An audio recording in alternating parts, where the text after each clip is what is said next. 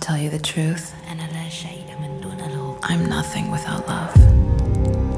To tell you of love, it's nothing without truth.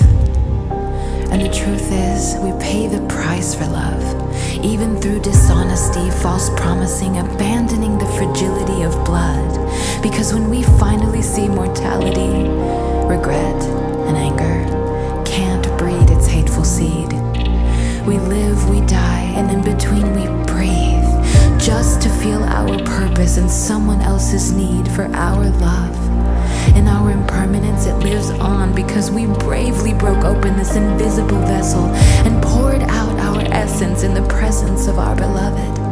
It keeps me breathing, grateful for the bleeding, the only reason my heart still singing